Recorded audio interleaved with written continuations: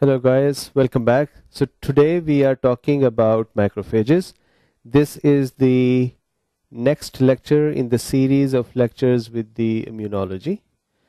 Uh, remember that we had gone up to the neutrophils, neutrophils, then basophils, eosinophils, and now today is the turn for the biggest role player in immune system, and that is the macrophage. So to understand macrophage, really it's a very elaborate cell, very important cell with a lot of functions. So to understand really all the function it does, here, here is a little agenda for today's lecture which we would pursue and we would go through these topics one by one. I might jump around in various topics in here, but this is really what is the structure. So what we'll talk about is the definition of a macrophage. We'll talk about the origin, where the macrophage comes from, We'll talk about various enzymes present in the macrophage. So I hope that you remember that all the cells in our body have gotten various kind of enzymes. Some enzymes for the cell itself to function and some enzymes, for example, lysosomal enzymes or others, which allow the cell to degrade the proteins inside and in case of the cells like immune, immune system, these cells can be using those lysosomes to break up bacteria and viruses and fungi and those things and yeast.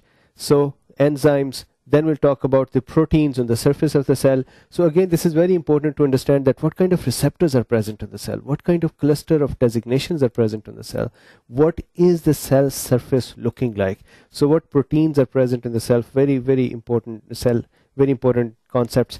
Then what is the lifetime or lifespan of the macrophages? And then uh, the break. So this is a very unique concept about the macrophage that how does it go and live in a tissue and how does it stay there inside the tissue and when would it separate from the tissue and start working. So again, in today's lecture, we'll cover that as well. So the breaks of the macrophage. Then we'll talk about the functions, then mononuclear phagocytic system, immune system with which macrophage is working, and the locations of the macrophages. One very important thing which I've noticed so many times, and I've talked about it in my previous lectures too, that sometimes students really get confused, that they, they go into the immune, immune system, they study the immune system, and what do you read? You read macrophages, monocytes, B cells, T cells, lymphocytes, and so on. B and T cells are lymphocytes. Natural killer cells, dendritic cells. And then when you actually start encountering the pathology of the uh, immune system or when you start reading about the immune system in, in bigger detail or you come across the reticuloendothelial system, all of a sudden what happens is the weird named cells start popping up. For example, Kupffer cells, Langerhans cells, dust cells, and so on. So what are these cells? These are mostly the macrophages, glial cells, macrophage dust cell or the alveolar macrophage, Langerhans cell, the cells present in the, the macrophage is present in the, under the skin. Remember the Langerhans cells were actually found by a medical student, his last name was Langerhans, uh, by a medical student when he was in fourth year. He is the same doctor who also have gotten the name on the islets of remember the islets of Langerhans in the in the pancreas. So Langerhans cells, then Langhans cells, then the giant cells or epithelioid cells and so on. So really most of those cells are macrophages. So this is a very important thing to understand. Nothing uh, curious in the immune system or uh, immune system studies. Most of these cells which you would encounter are going to be the macrophages. So we would actually talk about various locations of the macrophage and then what are the names of the macrophages which live in there and maybe what are the uh, what are their functions if these functions are a little bit unique.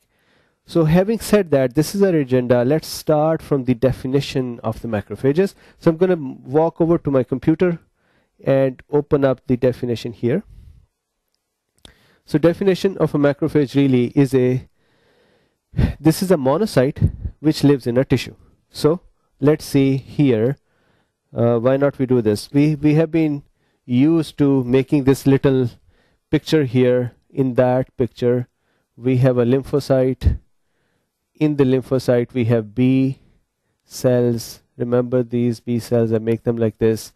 These are sort of mobile vehicles which shoot the um, the antibodies. So these shoot weapons. Although these are chemical weapons these are antibodies but again uh, useful to understand. And then remember my favorite favorite cells the T cells these are such happy nice cells. These guys these wear these t-shirts. So these are called the T cells. So T cells and B cells sit in the lymphoid tissue or the lymph nodes.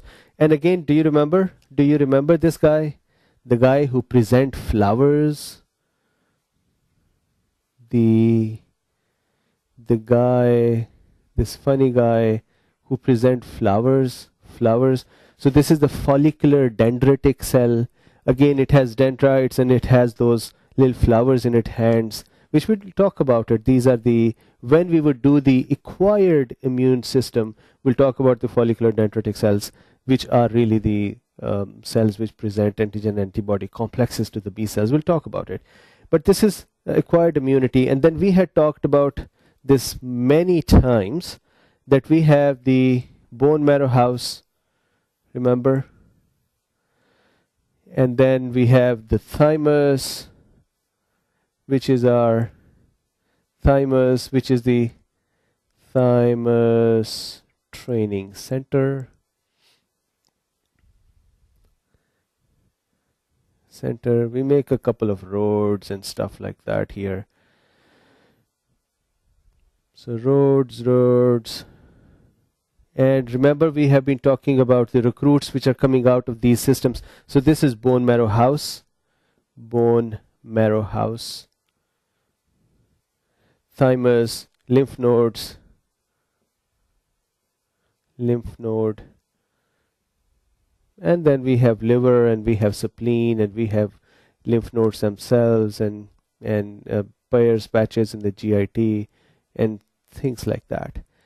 The important thing we have been talking about various players of this system multiple times and I always have done this in all of my lectures that I've talked about these players together so that the bigger picture stays intact. If you have forgotten the bigger picture, go back and read the very first and second lectures of immunology in the same series where I've given the bigger picture. But remember that we have those natural killer cells, those little perverts who tap and palpate every other cells. And then we have the T cells, and then we have the helper T cell 1, and we have helper T cells 2, and then we have macrophages sitting in the center of all of that.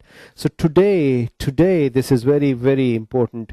We are talking about this scary, scary, scary dude which is called macrophage. Remember, we always make them like this.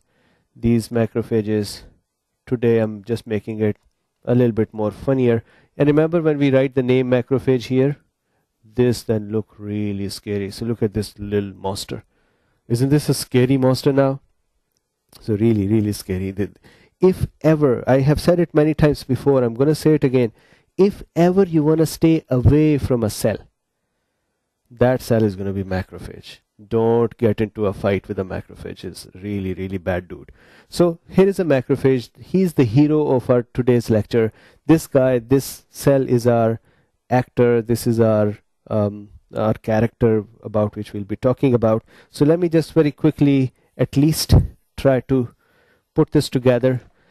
So macrophages are mostly irregular shaped and they they have dendroid dendrite dendroids or pseudopores coming out of them and they function to capture various pathogens around them they are they have one big nucleus in them. So this is different from neutrophil like cells where we have the um, the uh, multi-lobed uh, nucleus. Remember the multi multi-lobe nucleus in a neutrophil is because it is doing a lot of activity making a lot of proteins and a lot of messenger RNAs so anyways this is the macrophage the macrophage has got one big nucleus in the center.